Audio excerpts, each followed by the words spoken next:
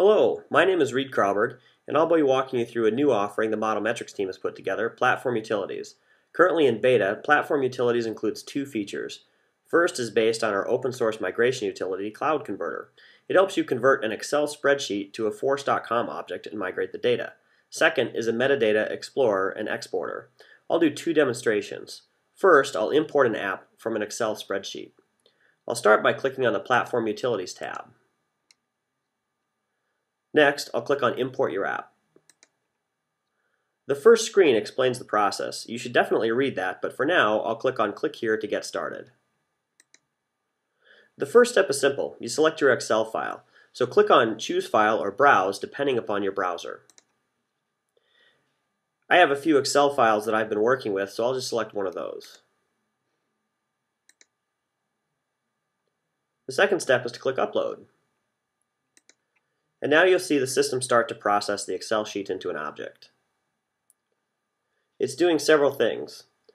It creates the base object itself. It creates fields to match the columns in the spreadsheet. It creates a custom tab. It modifies the default page layout. And then it uploads the data. The whole process will take a minute or two.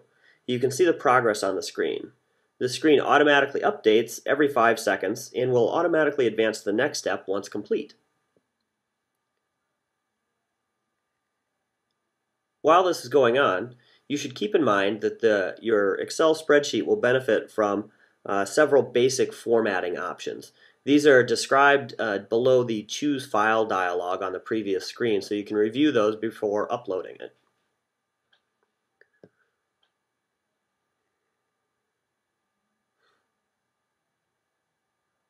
You can see we're now uh, executing a data insert. Have a couple of those.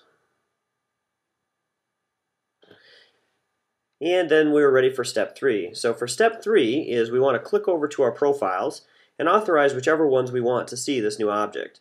I'm logged in as system administrator, so I'll edit that profile and switch the tab from tab hidden to default on.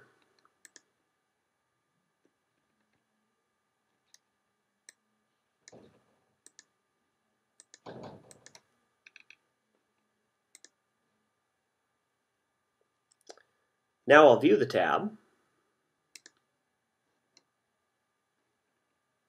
It's an object in a tab called the 500s.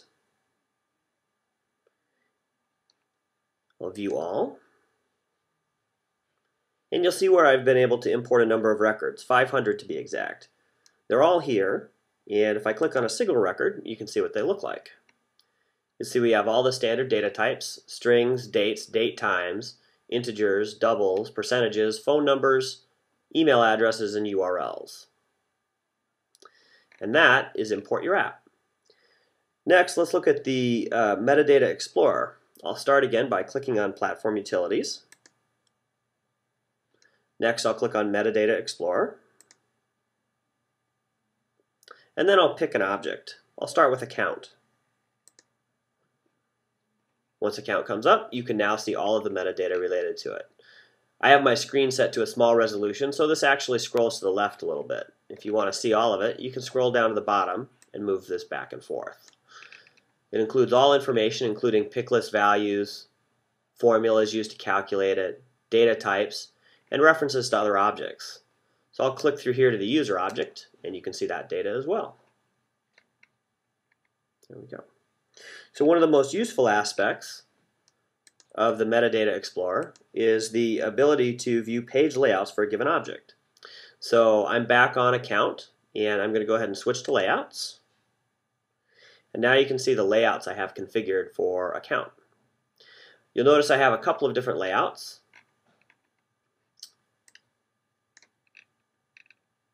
And this screen shows you several different things.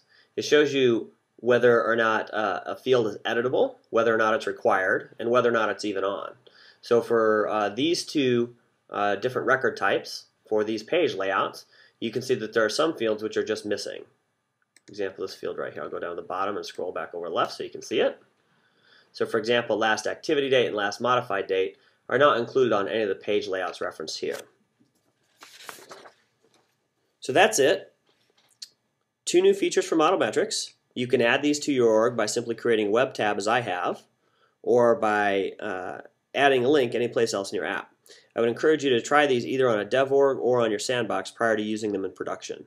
If you're interested in taking a look at the code, it's all over in the Cloud Converter package on Google Code.